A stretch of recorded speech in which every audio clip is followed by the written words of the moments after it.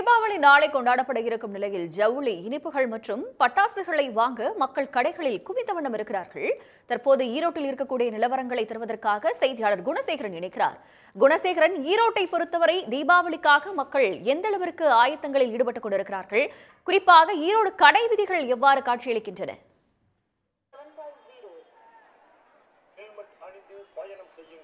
நாளை தீபாவளி கொண்டாடப்பட இருக்கக்கூடிய சூழ்நிலையில் அதற்கான ஆயத்த பணிகளில் பொதுமக்கள் மும்முரமாக ஈடுபட்டு இருக்கிறார்கள் ஜவுளி உற்பத்தி மற்றும் விற்பனைக்கு பிரசித்தி பெற்று இருக்கக்கூடிய ஈரோட்டை பொறுத்த வரைக்கும் கடந்த ஒரு மாத காலமாகவே தீபாவளி விற்பனை என்பது களைகட்டி காணப்பட்டது. மொத்த விற்பனை அதிகரித்திருந்த சூழ்நிலையில் கடந்த சில தினங்களாக சில்லறை விற்பனை என்பதும் களைகட்டி காணப்படுகின்றது. இன்னும் சில மணி நேரங்களே இருக்கக்கூடிய சூழ்நிலையில் விடிந்தால் தீபாவளி என்று இருக்கக்கூடிய சூழ்நிலையில் தற்பொழுது இந்த இறுதிக்கட்ட விற்பனை என்பது மும்முரமாக நடைபெற்று வருகிறது.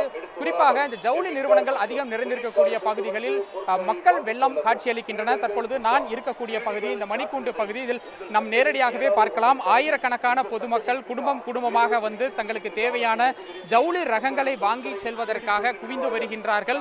குறிப்பாக ஆர்கேவி சாலை மணிக்கூண்டு ஈஸ்வரன் கோவில் வீதி பன்னீர்செல்வம் பூங்கா செல்லக்கூடிய சாலை உள்ளிட்ட பிரதான சாலைகள் அனைத்துமே மக்கள் தலைகளாகவே காட்சியளிக்கின்றன. மலை மக்கள் அலை அலையாக வந்து குடும்பத்துடன் தங்களுக்கு தேவையான பொருட்களை வாங்கி செல்ல மும்முரமாக ஈடுபட்டு வருகிறார்கள். இதன் காரணமாக மக்களின் கூட்டம் அதிகரித்திருப்பதன் காரணமாக பாதுகாப்பும் பலப்படுத்தப்பட்டிருக்கின்றது. ஒரு ஏழு இடங்களில் கண்காணிப்பு கோபுரங்கள் அமைத்து அதில் சுழற்சி முறையில் போலீசார் நிறுத்தப்பட்டு தொடர்ந்து கண்காணிப்பு பணி என்பதும் மேற்கொள்ளப்பட்டு வருகின்றது. இது மட்டும் இல்லாமல் கண்காணிப்பு கேமராக்கள் அமைத்தும் முழுமையாக மானிட்டர் கண்காணித்து வருகின்றனர்.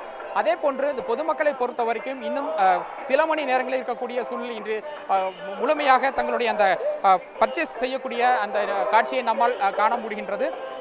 ஜவுளி கடைகளில் கூட்டம் அதிகரித்து இருப்பதைப் போலவே மற்ற பொருட்களை வாங்குவதற்கு பட்டாசு இனிப்பு போன்றவற்றை வாங்குவதற்காகவும் பொதுமக்களினுடைய கூட்டம் என்பதும் அதிகரித்து காணப்படுகின்றது. தற்பொழுது நாம் நேரடியாக பார்த்து கொண்டிருக்கக்கூடிய இந்த சாலை என்பது பன்னீர்செல்வம் பூங்காவிலிருந்து பேருந்து நிலையம் மற்றும் அதே போன்று பள்ளிப்பாளையம் ஆகிய பகுதிகளுக்கு செல்லக்கூடிய ஒரு பிரதான சாலை.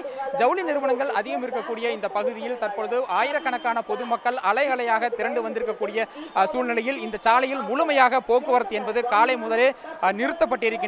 மாற்று பாதையில் வாகனங்கள் திருப்பிவிட திருப்பிவிடப்பட்டிருக்கின்றன. பொதுமக்கள் தங்களுடைய குழந்தைகள் உள்ளிட்ட பெரியவர்கள் என அனைவருமே குடும்பம் குடும்பமாக வந்து ஜவுளி ரகங்களை தற்பொழுது தங்களுக்கு தேவையான ரகங்களை தற்பொழுது அஹ், வாங்கிச் செல்வதில் முழுமையான ஆர்வம் காட்டி வருகிறார்கள். தங்களுடைய விவரங்களுக்கு நன்றி குணசேகரன். உடனுக்குடன் செய்திகளை தெரிந்து கொள்ள சன் நியூஸ் பெல் ஐக்கான கிளிக் பண்ணுங்க.